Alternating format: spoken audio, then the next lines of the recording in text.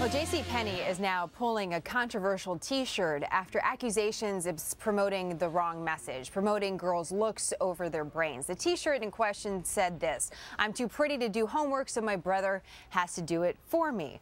Uh, this isn't the first time a major clothing retailer has put in hot water accused of objectifying young girls. It seems to be all the rage these days. Sandy Rios is the vice president of Family PAC Federal, also a Fox News contributor. And Sandy, we asked this question uh, going into the break. You know, what is what is going on here? Well, Jenna, there's a trend. Uh, there's a lot of things going on here. I think the parents were objecting to the T-shirt because they don't want girls to be identified as just pretty and not having brains. And that's that's an issue, but I actually don't think that's much of an issue now. When you look at statistics, most colleges and universities they have over more women than they have men, and so I think that's that question. The issue of the intelligence of women has pretty well been settled.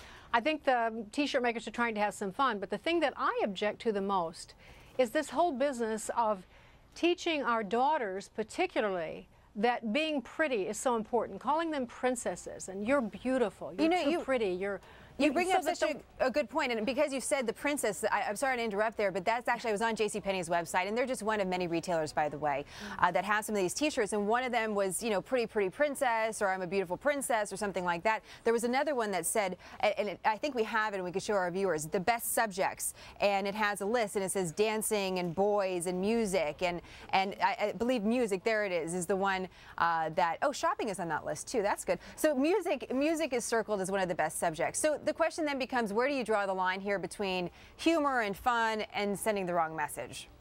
Well, I think, you know, as a, as a parent, you have to decide what your children wear. You don't let them just wear anything. That's a whole other issue.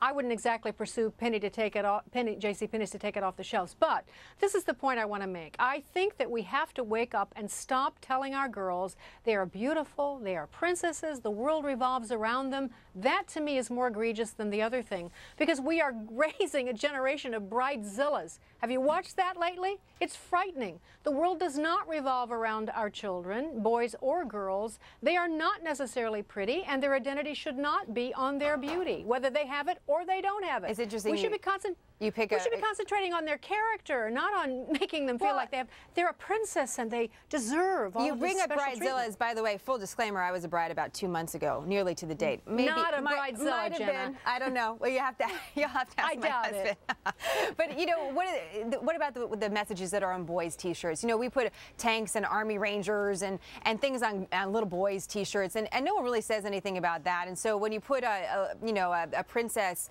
uh, symbol on a T-shirt for a girl, it, it, seems like that gets a lot of attention. But is there something broader going on here for, for both sides? I guess if I'm digging to the depths of trying to, to play fair here.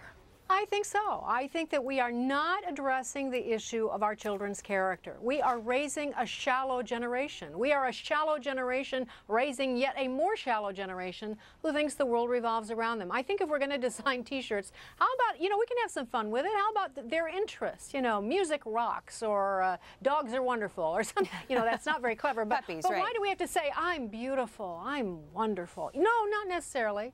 And when you grow up, you'll find out there are more people more beautiful and there are people more wonderful. And then it's a shocking blow and they cannot cope. We have a generation of kids who think way too much of themselves. Sandy, and it starts with silly T-shirts.